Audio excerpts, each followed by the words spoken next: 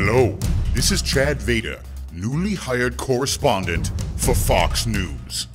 I wasn't very familiar with the Fox News network, but they gave me detailed instructions on the overall tone of what to do and say. Then they knocked me to the ground and punched and kicked me to reinforce it. So now I'm ready to report on my first story the insane, violent protests that have been going on in Madison, Wisconsin. These protesters are out of control. Oh, oh, wow. Look at that one. This crowd is mostly made up of nurses, preschool teachers, and five year olds, who are all known for their aggressive, violent behavior. They are protesting Governor Scott Walker's controversial budget bill, which includes a plan to strip onions of their collective bargaining rights which makes no sense to me because onions are not sentient beings Oh, yeah. and uh, what? The iron yeah. Unions. Sorry, that, that makes more sense. He wants to strip unions of their collective bargaining rights. The onions will all remain unstripped.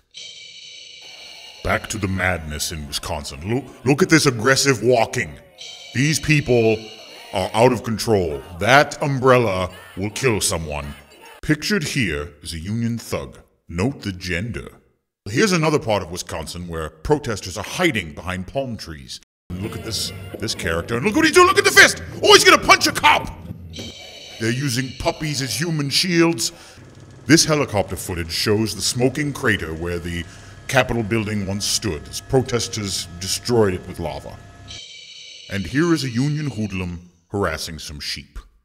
In Wisconsin, of course. Just shocking. There have been reports that Governor Walker has closed the public owned Capitol building and locked the protesters out, and is using secret underground tunnels to sneak Republican supporters in. Really? Well, it seems kind of lame and underhanded. G- Oh! I mean, it sounds awesome. It sounds good. My Fox producer just corrected me. we now go to my assistant correspondent, Baby Cookie, who is in one of these tunnels. Baby. It's me, sweet little baby Cookie, and I'm down here in the dark. Mean old Bill O'Reilly threw me in this tunnel and shut the door.